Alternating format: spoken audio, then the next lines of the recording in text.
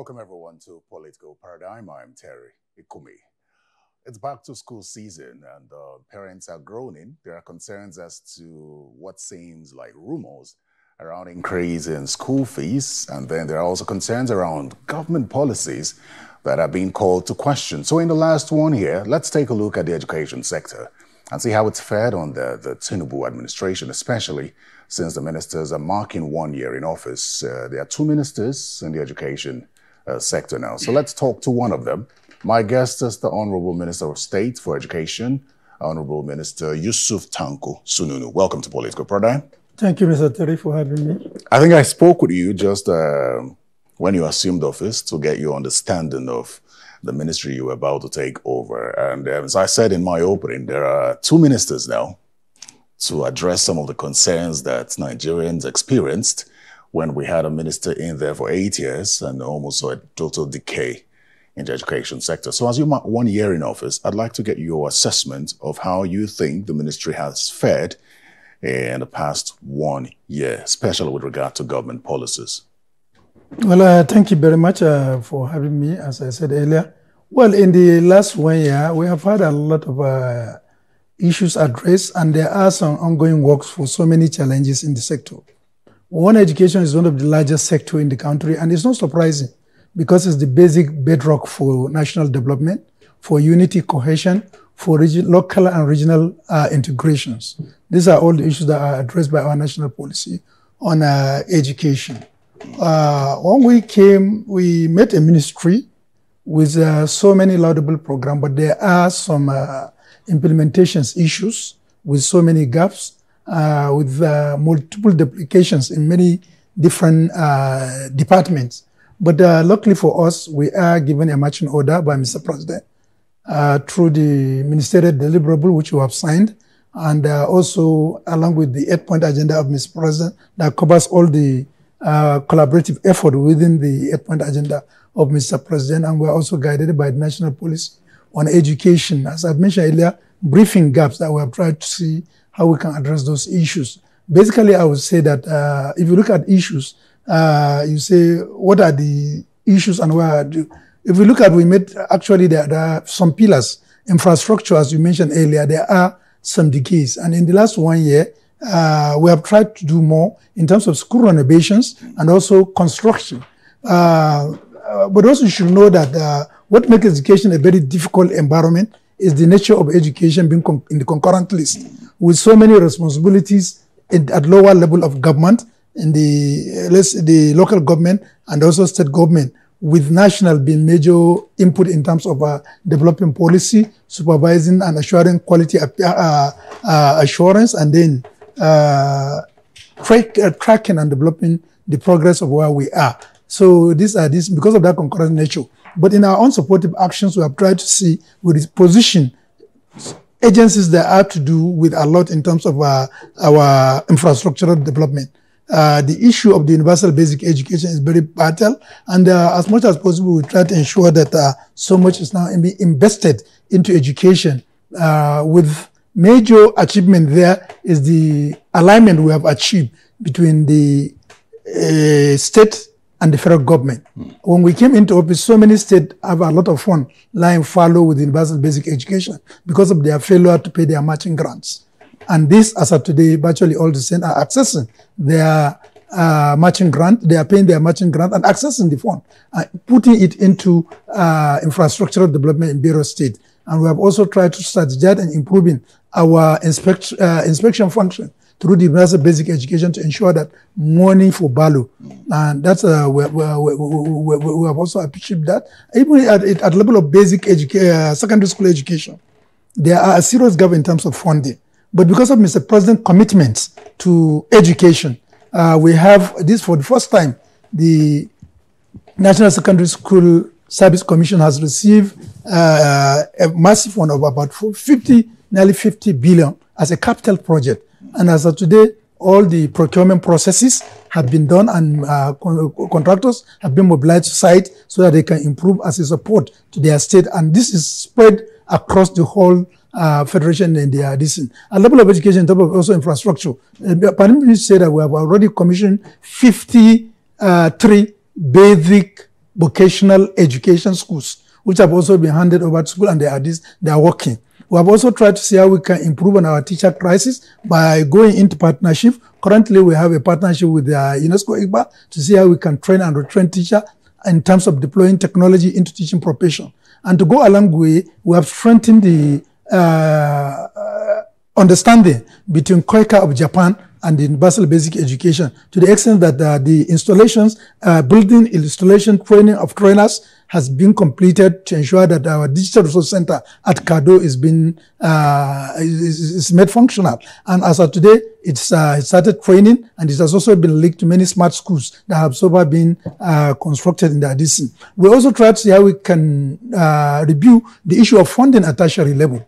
Uh, the TET Fund is living up to its expectations. And uh, at, at, now, we have uh, uh, the TET Fund has been directed to focus more especially in terms of the activating our workshop mm. and then imputing into our the deployment more instrument that will ensure that we have given the necessary uh, skills to students who are in training. And uh, we also give them much, uh, a lot of our, this is being now paid to organize its committee so that research and research grant utilization can also be effectively uh, maintained. And then if you go to most of our tertiary institutions, you also see that infrastructural development. And another major pillar is the curriculum. It's, uh, when we came in, it is, uh, it is good enough to know that for the past 40 years, our curriculum has not been reviewed. And you and I believe, and everybody will believe that anything that has lasted for 40 years is out of tune with current reality in terms of uh, need for for AI technology and so many issues that will make in, uh, our or our students stand the test of time and be useful in the 21st century. And as of today, we have completed uh, a review of our curriculum in trades. And uh, it has already uh, been uh, distributed. And for basic education and secondary schools uh, in our country, the the review of the curriculum and has also been completed. We are just going to, in this December and September, we are going to have National Council of Education in Abuja in the next few days to come, and that will be presented okay. for adoption and then for utilization. It goes ahead to address a lot of our needs of current uh, reality, which is a very big uh, success in terms of uh, everybody was complaining about our curriculum on which we have succeeded in the, okay. in review. All right, so uh, you've said quite a lot, and I want to take you up on some of them. Because I know that this year the president approved this uh, national education data system and also talked about the need for vocational training, which you've talked about. You've mentioned about 53 vocational uh, institutions. institutions. Perhaps you could be a little more detailed on them and the extent of their success so far. Well, uh, what the president uh, approved for us is a whole lot of projects put in a single word dots that is DOTS. The D, which you have rightly mentioned, stands for the data repository. And uh, you know that uh, data is very vital in terms of planning, resources allocation, tracking even progress of what you have achieved. And this is actually lacking. For so many examples, for example, now you have a lot of data in terms of out of school children, in terms of infrastructure, but different bodies will give you different data as a time. So as of today now, we, have, uh, we are concluding that arrangement and very soon in the next few days, the enumeration will start. Enumerators will go around and we'll get data of all our schools, data of our teachers, data of our uh, of infrastructure at level, so that we know how many percentage of our students are out of school, how many of them age 18 to 35 are in university, how many of them, and then in your own room, you will be able to, uh, uh, if a major stakeholder, to track using a dashboard the progress of each and every student. And this one we are working together with other agencies of government so that we can have a holistic approach. And that is this in the out of school children phenomenon. We'll all agree that it's a major issue in Nigeria and it features as a major thematic area in the eight point agenda of Mr. President. And uh, in that regard, we are working hard and we have been given mandate as a ministry in our last audit for the one year. We have succeeded in returning over 4 million students back to school what, what we are now bottling with and we are working hard is to see what is, our, is going to be our retention rate of those 4 million that we have uh, so far returned back to school. And then in addition to those that we are also going to bring back to school. And then what will also be their completion rate. Because there are so many factors. But luckily okay. for us, the currently now you know that major issue that is challenging our progress as well as addressing the issue of out of school children is concerned is issue of insecurity in the country. And you all believe that in the last uh, uh, 10 days to say, for example, we have seen a lot of massive effort so, our security agencies address the issue of insecurity. So and that, once that is achieved, more students will be, less students will be displaced from their school, and a lot of those that are going to be returned back to school will be able to remain in school and read, write, and uh, take lessons peacefully. So, so the issue of insecurity is where yes. I wanted to take my cue from to find out how you have been able to return 4 million people, uh, children back to school, uh, and in what regions of the country? The 10 million that were, uh, 4 million that were returned is a nationwide. We have a nationwide uh, campaign that I personally also went to different states. With Misa also went to different states, and it was and it has a national outlook. And we have gone around to ensure that we sensitize state government. We also sensitize the uh, State Universal Basic Education Board, which we are doing with them uh, this, uh, to ensure that those students are returned. And we peacefully supervise their distance. And, uh, are there incentives to get them back to school? Did you have to uh, employ incentives to get them back to school apart from the appeal?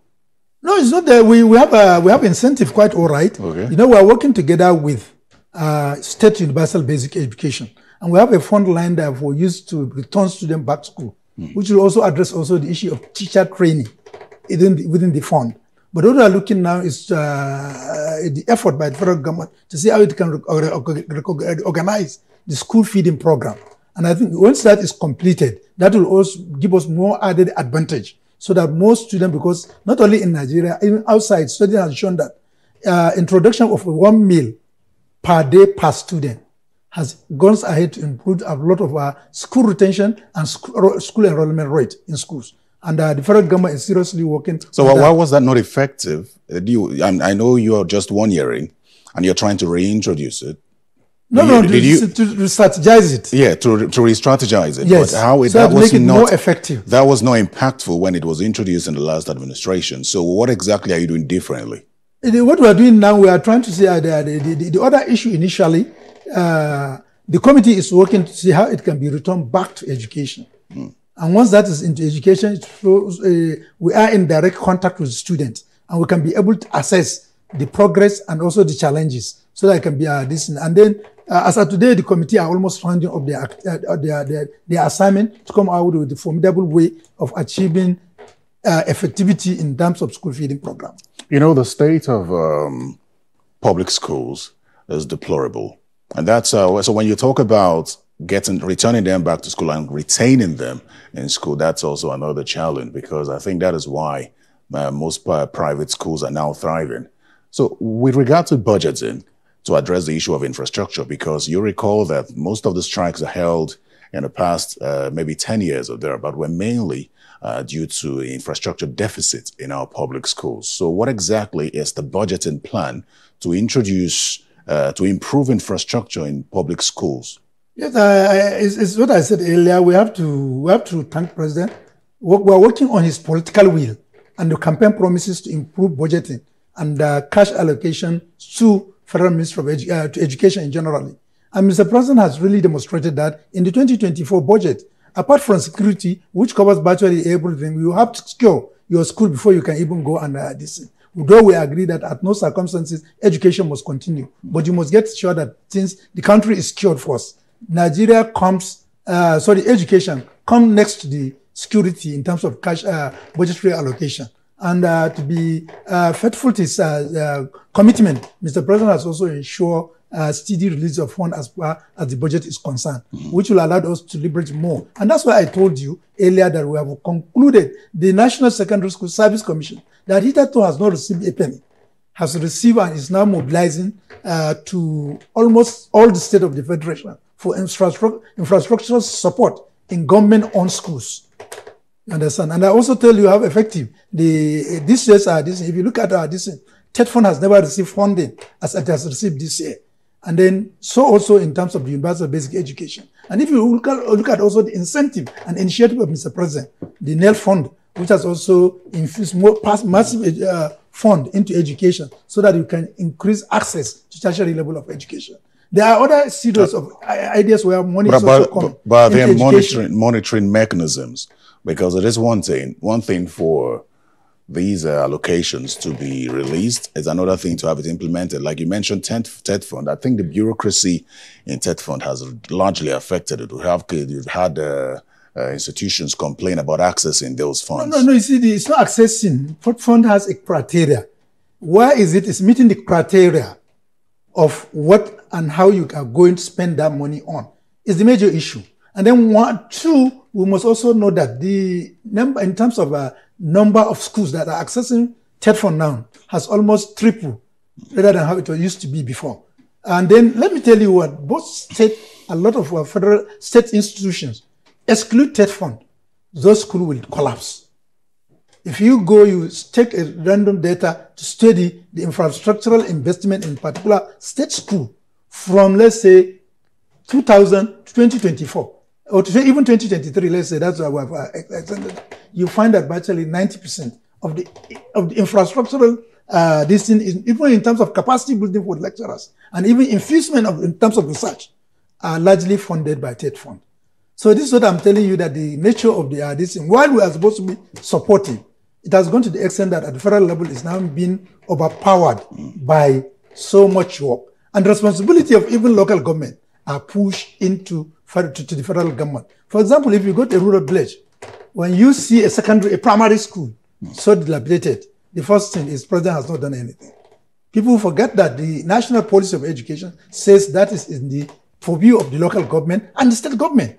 But despite that, we also have to do ahead to ensure that we fill in a lot of gaps mm. so that the system will continue and the uh, uh, unhindered, at okay. least at certain level. Beautiful. Speaking of funding, uh, the student loan initiative is, uh, I think, five months old now. Uh, it's not domiciled in your ministry. It is um, it answers to the president directly. But your ministry is on the board of uh, the Student Loan Initiative or managed by NELFund. Could you talk to us about the extent of implementation, especially considering um, the data that's been put out there by NELFund and the concerns that have arisen? Yes, we are in the board, and not only that, we are in the board, we are also the reporting ministry to the president. NELFund report to the president through the Federal Ministry of Education. So we have a very cordial relationship with NELFund. And uh, we have been, uh, if there is any program as of today that is so transparent that you can track timeline, it's NELFund. That you cannot do away with that for, for them. You go to their website, you see how many students have so far applied, how many students at what level of their processing of their loan is, and how many has so far received both their personal and institutional grants, uh, institutional uh, mm. component of the loan. So it has been a, a this thing. But what we really observe is that there is some, you know, the trust in governance. That's why the president came here, uh, came with, uh, come up with mission to renew the hope of operating Nigerians. That trust is not there. Initially, a lot of students thought it was just uh, a political statement without political will to implement it. But as today, it has been demonstrated. It's only not only political uh, uh, statement, but there is also a strong political will backed by a lot of legal uh, component of it to ensure that the uh, fund come to reality and it's being accessed no. as of today. The other issue that we have also noticed in terms of that issue, uh, which we are addressing right now, is what I've mentioned, the Lucom attitude of some students. And NELFund on its own as a body has started an advocacy level towards state, meeting so many stakeholders. They have been to many states in the north and the south, and uh, I think in the next few days, they are likely going to be either in Jigawa well, Maybe they're afraid of the repayments plan because that's also been described as enslavement, especially considering a country with a with soaring unemployment rate. Now, you're supposed to pay back this loan two years after completing your NYSC. Yes. If you're unable to pay because you don't have a job or a business, you're supposed to write and seek uh, extension. But do they say that you are going to be jailed? No, well, I mean, those who have criticized it no, describe it as no, enslavement. See, that's why in so when you're done, when you take such a loan and you're done with school, you're trying to serve and then you're unable to pay. I'm not saying mm. it is mm. either a good or a bad thing. I'm yes. saying how's the ministry taking that in and are there considerations to adjust uh, these concerns? You see, or is it there, sacrosanct? There's nothing that says that once you did not pay and you are unable to pay, you are liable. But then how does it there affect no the fund? if, for example, if, for example, you have a backlog of debts yes. that have not been paid, how does the government you, continue to fund you see, something it's just like assumption. That? Let us say now, right now, a lot of our school we must thank to the Alumni Association who have passed through the system. Just some few weeks ago, we are at the Federal Government Academy Suleja. And I've seen the, because of the impact of the project being undertaken by uh, Alumni Association, we have to give an extension of 10 days before resumption because they are, they are doing the total overhaul of virtually the school. And it is on record also, someone in Nigeria accessed loan in 1978 or so. And he kept it in his mind, just looking, looking for an opportunity. And with an establishment of NELFund, he has paid that dues of almost 3 million, equivalent of what he has, he has calculated, equivalent to what he has accessed since 1978. This goes to show Nigerians are really their brother's keepers. Mm. And we cannot just think because people will not pay, will not will write up the benefit of that system. So what we are going to do as we are going, we are also instilling that discipline of nationhood, of uh, brothers keepers, so that they can realize that, look, in my life along the line, through President Bola Ahmed Tinubu, Nelfon imparted positively to me, and I will be able to pay back my money. And not only be that, I'll be the champion and alumni of NELFund and they will gather together also utilize their distinct ability and national reach also mm. pay back to the fund. I think that. So the positive aspect of this is what we are capitalizing in. But we didn't say that if you the law or the act did not mandate that if you cannot pay under any circumstance you should be there. No. And I think this also ties to um, concerns around increase in school fees. There's a back and forth as to whether there is an increase in school fees. I don't know if you have a a, a statement on that. Yes, see, let me just say that uh, I've seen a lot in terms of uh, uh, writing that we have increased even at the, our Federal Unity College school fees. That was not correct and that was not true. What happened was we have somebody who went, doctored the letter-headed paper of the Federal Ministry uh, of Education, also doctored the signature of uh, the director secondary school education and issue a circular saying that the school fees has been increased from 100,000 for the first time to 386,000 plus, which is entirely incorrect and it's a doctored uh, document. And as at right now, we are working with security agencies to unveil who are the people behind that. At the same time, we have two major documents that were doctored from the Ministry of Education.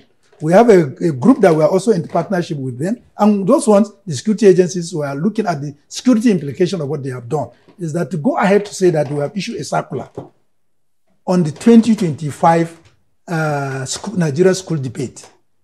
That Nigeria, we are proposing a topic that the same-sex marriage should be legalized in Nigeria.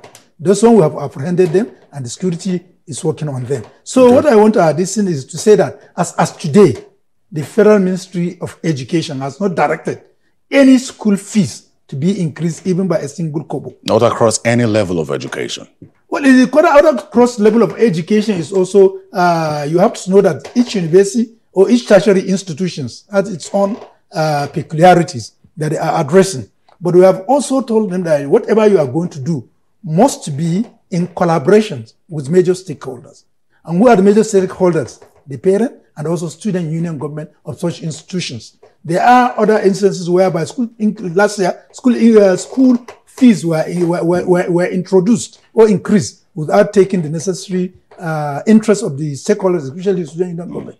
Now we have to, by then there wasn't a council, the ministry has to act on it, and those were addressed to meet the need of the student. Okay. And then let us also say, say that the issue of school fees as of today is only a problem to a student who wanted to be a problem to at tertiary level. Mm. Because we have institutional component of the in the student loan fund, which you can access and will be paid directly to the school, not to you. So even if you are afraid, you can just take that one. You, some, you know, the major issue we have also realized is that because of COVID loan, that is linked to BVN, Mm. Money is going into account of student is being uh, they are, they are, they are, who access the loan have been, uh, have been deducted so that they can refund those loans. Yes. So that's what, one of the major issue. What I will say is so so so you, what, what, what, why can't you access the the institutional component can, can which will not come to your DC? Okay, so it goes directly to the school. Yes, it goes directly to the school, so it has nothing to hit your account, so that you are not the, the fear that somebody will. So, so, uh, So this individual, this individual now owes COVID and then owes uh, his education. That's interesting. But we have two things to talk about yes. in five minutes, and I hope that we can quickly talk yes. about it. And one of them is the age limit for admission into universities, 18 years, and it's generating quite a number of reactions. Some say that some children are smart enough to gain admission at 16, 17, or even 15. I know people who get PhDs in their 20s. Is this not a restriction? Well, I, am just happy that uh, as of today that Nigerians agree that uh, there is no debate on age for writing WAEC, NECO, mm. and uh, MBIS examination because we have already addressed that issue that it's not an issue that has come into fore. But for the issue of uh, age entry into university, I've also made it in different fora that yes, it arises and it's a point of discussion and it's a work on progress.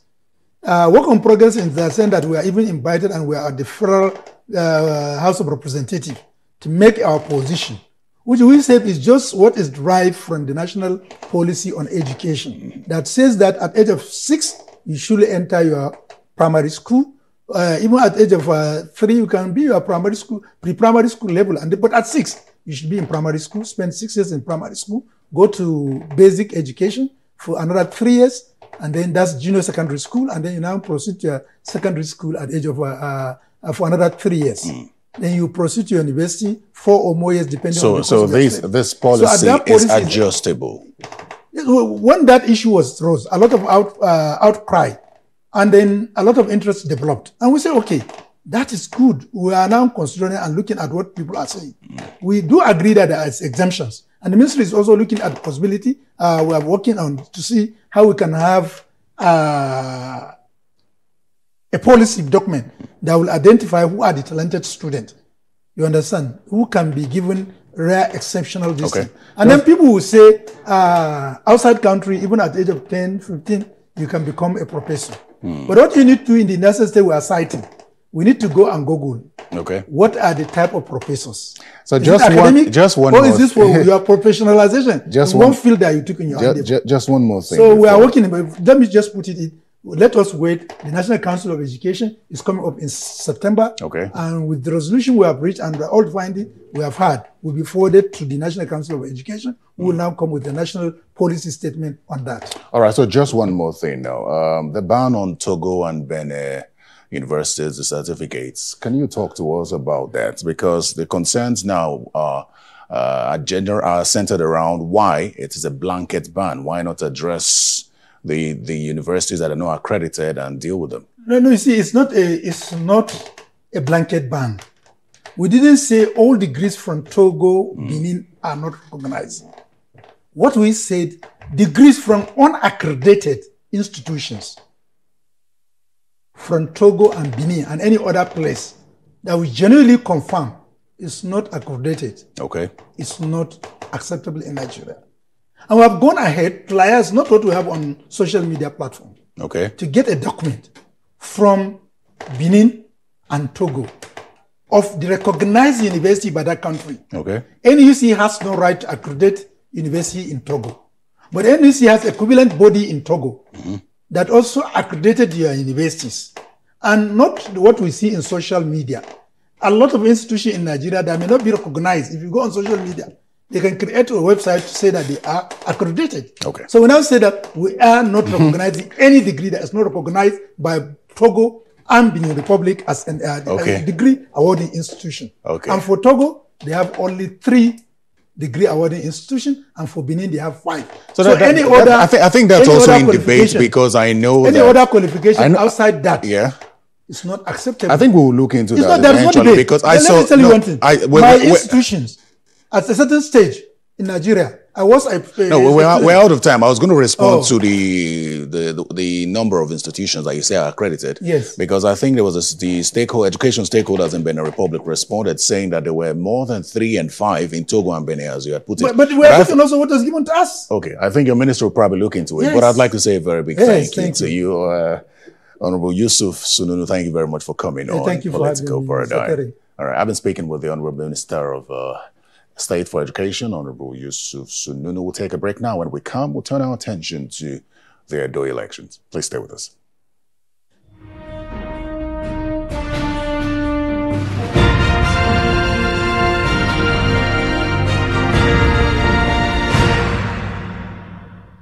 Welcome back to Political Paradigm. Let's now turn our attention to the Edo State governorship election, which is just days away. I'm joined by an entrepreneur a businessman, a philanthropist, a software engineer, as he is as well, who is into some blockchain development. I'm joined by Dr.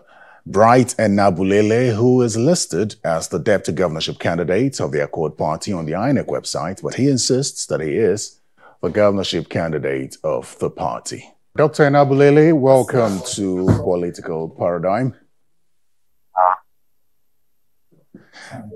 Before we go into, thank you for having me. Uh, you're most welcome. Before we go into party politics, uh, I'd like to ask you this quick question.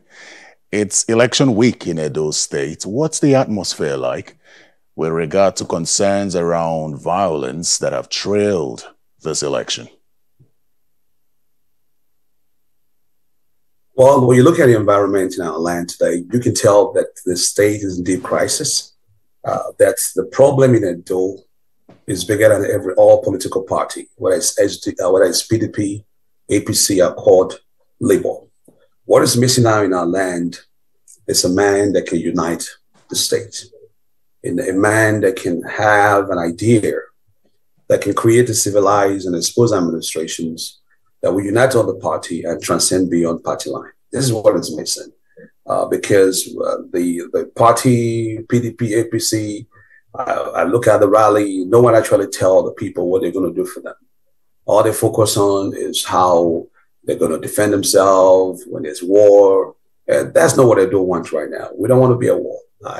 if you witness the global crisis around the world today, especially in Gaza, you can tell that war is not good for anyone. I'm very particular about the security situation because, you know, there was a peace accord signing.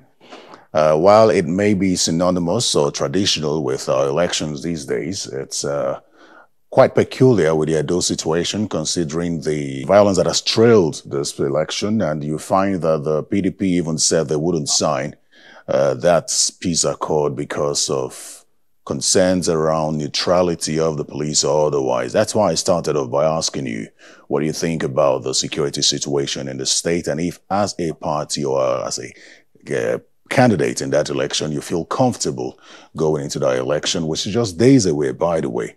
And also perhaps speaks to the neutrality claim by the police. The IGP has promised that the police will stay neutral. First of all, we must love ourselves and we must have faith and we must have also uh, hope that everything will be okay. I don't want to go into this election with no certainty.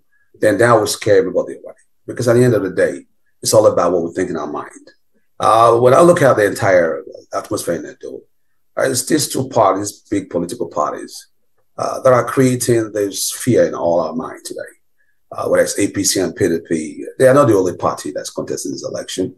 And they're not the only one that have knowledge to govern those states. I mean, uh, four years, we have given them chance uh, to rule our people, to lead our people.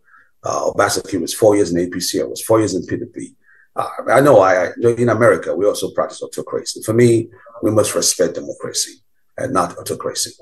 Okay, so, so you are not worried about the violence concerns ahead of the elections? I like to think so from your statement. I, I think it's going to be peaceful. Beautiful. That's good to uh, know.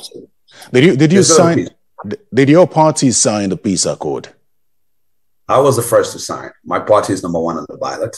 So I was the first to sign. So it was you who signed it? Yes. Okay, that, that's interesting. I, I, I'd like us to pick up from there and go into party politics, considering the controversy within your party. Um, for many people, they would probably be surprised that you signed that because on the INEC website, it is uh, Kennedy that's listed as a governorship candidate, and you as the deputy governorship candidate. And I know that you parade yourself as the governorship candidate of the Accord Party. So perhaps you could explain the situation here.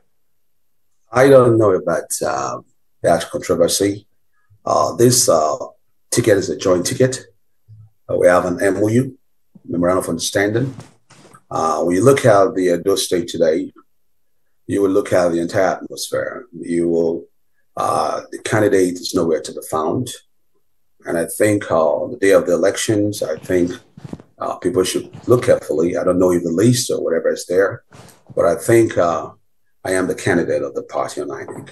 Maybe on the day of the elections, maybe the system, I don't know if it has been updated, or there may be some misconceptions. But for me, um, um, it's, it's a joint ticket. I'm happy to be on the race with him. But uh, at the end of the day, a lion is never scared to walk alone because the problem for those states is bigger than our party. Uh, so for me, the party understand, the people of Edo State understand who their candidate is, who's fighting for them, who's on ground, who's promoting. Uh, for I, I, I, mean, I, this is not about uh, naive or, or try to compete. For me, it's about moving Edo State forward. But I came into this race, I have one reason. Uh, to compete and not only to be uh, someone that's coming up second, to come and take over Osadebey House. Our land is in deep crisis. And for me, I believe that uh, we need a civilized and exposed administrations. With my experience around the globe, I think I'm the new hope of Edo State. I would like some clarification, and I'm sure the people of Edo State will like it as well, because you say that on Saturday, the people of Edo State will know who to vote for. You've talked, I raised the controversy within your party, saying that Iyere Kennedy is listed as the governorship candidate of the Accord Party, while you, Dr. Bright Enabulele, uh, listed as the deputy governorship candidate, but you say you are the governorship candidate, I believe. And then you also say that the candidates, uh, Mr. Iyere Kennedy, is nowhere to be found. Could you explain that and also explain how you emerged as the candidate of the Accord Party, just to put this controversy to rest, perhaps? I mean, um, I have had situations where we did our primary. It was a joint ticket. At that time, he announced me as his deputy. But you know, the INEC always make provisions as the election going uh, to substitute and also to make provisions to switch if someone felt like they are no longer uh, interested in running the race. Uh, for me, I don't look at the race as a competition. I look at me and Kennedy Iyere as a joint ticket. It's unfortunate. I can't control human behavior. Uh, this is not a power struggle. This is not a power tussle. Uh, the people of Edo understand who their candidate is for Accord Party and who has been on ground to work for them. And uh, I have not looked at the list of INEC, but when I look at the list of INEC, I know my name is there. Uh, so I don't know. If, yeah, as deputy governorship candidate, that's my emphasis. yes, I'm the governor. No, I mean on INEC's website, you're listed as deputy governorship candidate. But then you talked about substitution, which is definitely allowed. But when was this substitution made and by whom? Because I remember that the chairman of your party in the state had insisted that the governorship candidate of your party uh, is um, Iyere Kennedy. Was he the one who substituted your name? Yes. The party, there's a, there's a right for them to uh, substitute and uh, make provision for that. Uh, when I talked to my partner, I call him my partner because it was a joint ticket. Uh, we have a member of understanding for me to run as a governorship candidate, another party. I mean, since we did the primaries and in Edo State, uh, Iyere has never been here in Benin City. I mean, somewhere he makes whole life on, a, on Abuja and talks about different things. I don't want to focus more on that because at the end of the day, it's a joint ticket. We want Accord to come out and win. And on the days of the election, if Accord wins, uh, the INEC has the right to, uh, to announce who the candidate of Accord party is. So who's it first? I'm the candidate. Yes. If I'm the candidate, it will be announced live. And that's what we are waiting for. Two things. Uh, two things. Two, two things so that we can leave this conversation of your party uh, yes. politics. Because that's for me, it's a, it's a distraction because well, well, very, you you imagine how the voters feel about it as well. You know, all the all the voters care about right now is Dr. Enabulele Accord Party. Oh, so you, that's that's the momentum in the door. Look at all the billboards. Look at everywhere. Okay. Uh, if it was all about if it, if it was all about Kennedy, we're out of the race. So you say is not so, so you say he's a, is, you say there's no conflict. He's out of the race willingly. No, you I, have, mean, I said if it was about Kennedy, yeah. who will have been out of the race? It's not about Kennedy.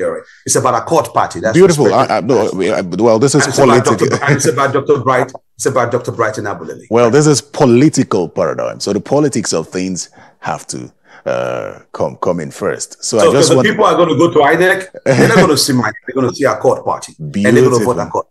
Oh, that, yes. that's beautiful. So, so, so, so Accord party, and the INEC is going to announce Accord party, Dr. Bright Enabulele, as the new governor of Edo State, and then we'll take it from there. So, who's your running mate? is Kennedy Iyere. I have no problem yeah. with Kennedy Iyere.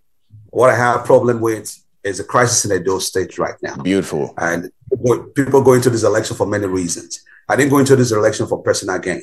I came to transform the land. Uh, most of this big party has failed us, and I want to still focus on that. Uh, we have not had since the since the manifesto of Ambrose Alli that was abandoned 41 years ago. The state has not moved forward. I, I'm not here to run the politics of redress or retribution.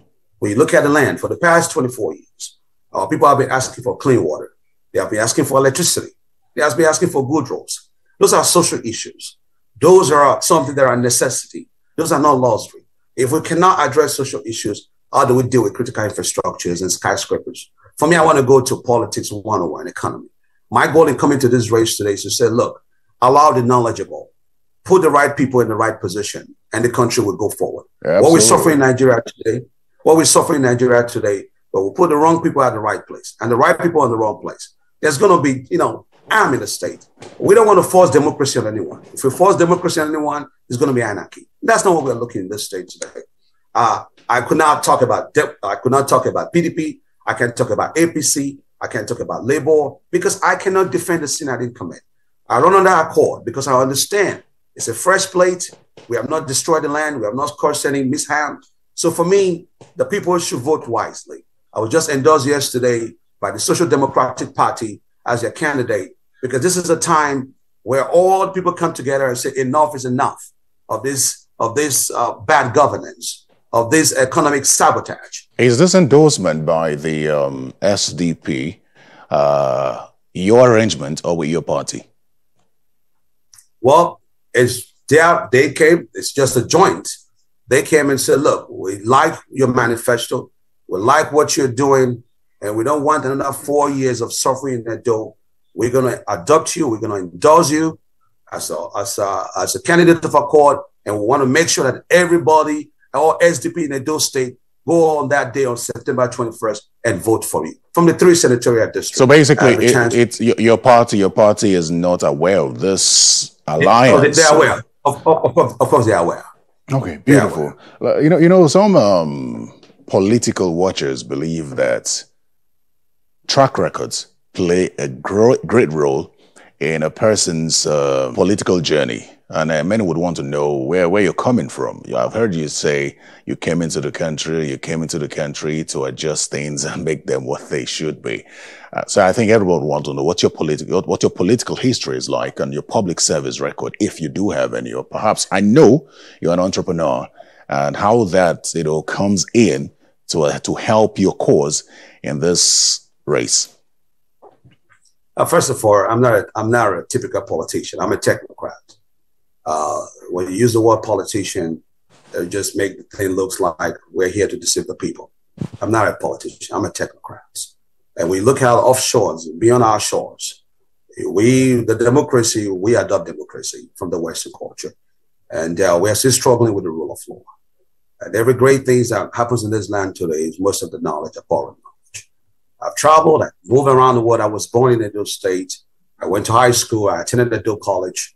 So I was granted. So traveling around the world, I believe only the diaspora can repair those states because you cannot give what you don't have.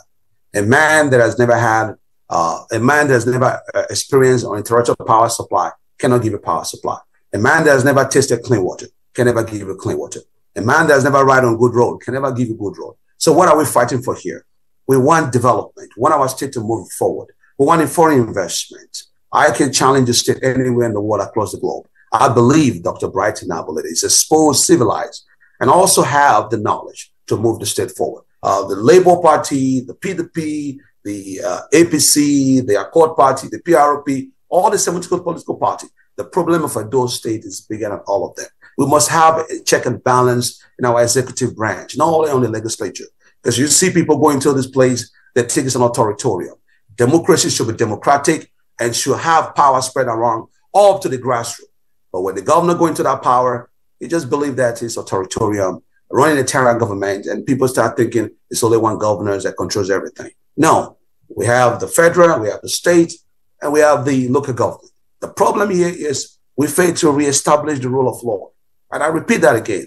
If you are the one that creates the law, and you're the one that established that interprets the law, and you're the one that enforces the law. We must obey the law. We cannot move forward if we don't respect the rule of law. And that's what this is a great country. Um, you've spoken so well about the decay in governance in Edo states. I would like you to look at Edo states from 1999 since the return to democracy and address concerns around the development within just Benin City, which is the capital of Edo State. And uh, those who have said that Edo State has not experienced development beyond Benin City. So what are your detailed plans to expand development beyond Benin City to other parts of Edo State? Uh, uh, listen, I am not here to run the politics of retribution or redress. I'm not saying that Obaseki has not done well or Oshiomhole has not done well. Uh, the, the key here is you cannot give what you don't have. They have done their best. I'm happy that the state is not on fire. That's great for me. That means the state can move forward. All I'm just saying, the government should change hands. The people look at administrations are just all about. Oh, oh, Obaseki said, well, I, I build education back. I have to do this, I do tax. I am not there. I'm not a media people to check, prove that. But when you come into the land, there are three things that the people has been asking for. I'm ashamed in 21st century that we are still campaigning on social issues like water, and power and electricity for the past 24 years. You know, I remember the manifesto of our Arbor 41 years ago, 1983. That government was a government that I could remember that says equality for all, education, industrialization, community farming. That brings our people together. Today, no government will be able to fulfill that promises. I want to stand on that existing manifesto that I say, I'm coming to the place and unite the people. How do you unite the people when there's hunger in the land? We have to engage our people. We need social services. We need public services. Our government should be able to have welfare assistance for our people. We have the funding. If we control mismanagement of funds within the government, corruptions, and forced labor, paying people that are not on payroll, we should be able to take care of our people. We're only 4.7 million people. At least 3 million people are viable. When was the last time the government says, look, I am going to make sure after the pandemic that I do to get 100,000 naira as citizens. We want to circulate our economy. Don't forget, capitalisms are built on the private sector, not on the public sectors. When you neglect the private sectors, the economy is going to fall. And it's not the government, the people first, because the people elect you. The powers are vested on the people to elect their leaders. Dr. And at the same time, protect them. The question we're having in Edo State today, we can say all this grammar that we want. We can make all these promises when the government don't respect the rule of law, the people will not respect you. And when the government don't prioritize the needs of the people first, they're going to be erosion in our land. Hmm. Let's care for the people. Dr. We have lands, we have culture. Let's engage our people correctly. I'm curious. Uh, thank you for coming on this platform to talk to your people. But I'd also want to know how else you're communicating with your people. Do you have a manifesto uh, and have you been able to go around the states like the other political parties have done to speak to people directly? You asking me, I just repeat. I'm standing on the existence of the Manifesto of Arbor That was abandoned 41 years ago. Free education, early childhood education. When I look at Edo State, from the age of 16 to 15, 11% of our children drop out of school. Those are the times that we need education the most. Education should not be a priority or a responsibility of our parents because our children are going to give back to us in the future. I remember when I was growing up, I was having free books. When was the last time uh, this administration and the past administration gave books to the students? That's what I'm saying. I'm not here to run a politics of retribution. I'm not here to condemn Obaseki. He has done well for the people according to their own satisfaction. No, my, but my, for me, my, my question, I am not satisfied. My question, satisfied. beautiful. My question yes. was more about how you're passing this message across to your people. The election is this week. And we've seen campaigns from the APC, the PDP, and the Labour Party. They've gone just about all across the state. We haven't seen yours. So I'm wondering if your people are as aware as you put it. Of course uh, we're on ground. I went to the northern part. I went to the southern part. I'm in Edo State campaigning. Uh, they are aware of Accord party, but sometimes they want to engage all these big channels so we don't have a chance. And I'm happy today that you guys gave us opportunity to understand that uh, it's not only these big parties that are running. One of the things you talked about is um, that politics is not just about the APC, the PDP, or the Labour Party and all. And some would say that considering the success of the Labour Party in uh, the 2023 general elections, that they would expect the smaller parties like yours to rally behind the Labour Party, form alliances, form mergers, whatever you can come up with, to be able to oust the APC and the PDP that have been in power in your state since 1999. I just told you, uh, SDP, I produced a governor in the state, Oyegun. They endorsed me yesterday because they saw the future. I have two other parties that are talking to me uh, because alliance is the greatest competitions. The endorsement should not be about party, it should be about character. Someone that can move the state forward. That's what matters. We need a civilized administrations. I remember when Oshiomhole ran, ACN was not a big party in Edo State. We gave him a chance to become our governor because we believe that there was deep crisis. And we're in the same situation again after 16 years. So for me, I believe Dr. Enabulele now should be given a chance. Because at the end of the day, I told you, you don't need a dictionary to translate it. The world is watching from everywhere. We're in a global village. The world is becoming a global village. In internet, you can see Akoko Edo from anywhere. You can see O1 from anywhere. You can get data and statistics. The people are in my heart, not on the land. Look at Malaysia. Let's forget about Europe. They are far from us. Look at Bangladesh, Nepal, Vietnam. Go to their places. They are not as wetty as us, but their system, their social issues are taken care of. Even in Gaza, there's electricity. Even in Gaza, there's water. No, I'm not telling you that uh, I am the Omega, but I'm telling you with intelligence, the right minds, and the right people in government, and build the right institutions, our state will move forward. That's beautiful. Uh, we're almost out of time now, but I want to quickly ask you this question. Uh, you've you're doing the unconventional campaign style, which is quite commendable if you're really reaching to your people, reaching out to your people one on one. At least they are listening now. They are listening to uh, me now. Beautiful. How's that coming up for you? How how campaigns so far, especially from someone that they may not consider to be popular? I'm not sure how long you've been in the country or when you joined the Accord Party, but popularity is uh, is a game that's played in Nigeria when it comes to politics. We are here to change the status quo. Popularity has not led us anywhere. We need an intelligent mind, a civilized administrations, which is send the, the right narrative to the people. That at the end of the day, it's not about popularity. It's about someone that has the people, someone that understands humanity, someone that understands love, a man with good character. So I don't care about popularity. I care about a man that can do the job and unite the people. When Ambrose Alli came to this country, he came from the foreign country. And today, his manifesto has never been defeated. And no one has fulfilled that promise. And I promise you, I will fulfill the promise. I will fulfill the manifesto of Ambrose Alli that was abandoned 41 years ago. That talks about early child education, free education for all, increase our farming, our farming. Look at the hunger in our land. We are importing grains from Ukraine. Just one second. The reason, the reason I asked about popularity is this. If you've spent so much time outside this country, how no, my heart is here. One second. My heart one, one, second. Been, one second. I am a How- Pan-Africanist. Beautiful. How familiar could you possibly be with the state of things in the country? Are you from Benin? I'm from Edo. I was born in Benin. Beautiful. So let's say you go to a place called Auchi. How familiar are you with the challenges experienced in Auchi? So we have we have our wards, we have our party chairmen, we have our ward chairmen, and they bring this information.